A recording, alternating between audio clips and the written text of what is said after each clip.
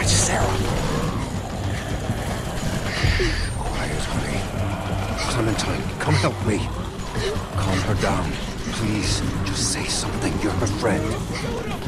Clementine. Oh, Dad! Oh, damn!